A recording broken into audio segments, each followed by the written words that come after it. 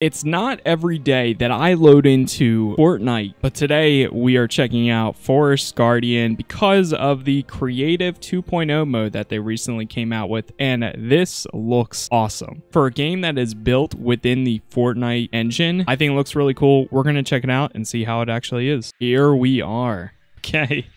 so I still load in as my Joker, the laughing Joker Batman suit. This walkway looks pretty cool here. What the... Dude, this is kind of... This makes me really excited for the future of Fortnite because I'm not really a multiplayer guy. I don't know, for those of you that don't know. I don't play a lot of multiplayer games besides the occasional shooter here and there, but it's typically like a tactical shooter. But if we get a lot more like solo or co-op modes. I think co-op modes would be the coolest thing. If they have like a little bit of a storyline, I would really love to see that. Like a golden archway. Ah, okay. Opens it up there. Got one. There's the other. Wow. That looks really cool down there. I love games with like a, an aesthetic like this. Getting like an Indiana Jones feeling from this music here. oh boy, here's the, uh, wow. That looks really good. The quality on that thing. Holy.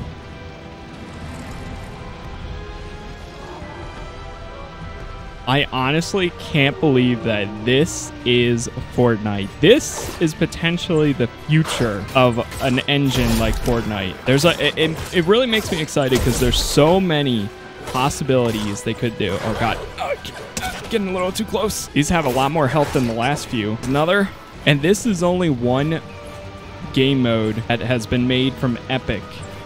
There are a few other game modes, which I'm going to be working on as well. A video on those to see how those play out. And I got two more. Two left. Hold. Oh, wait. There's a sword. Oh, my God. Oh, no. this whole time, I had a sword. A katana. Oh, no. It's just a regular sword, not a katana. I could have used. I didn't know. I really did not know. What is this?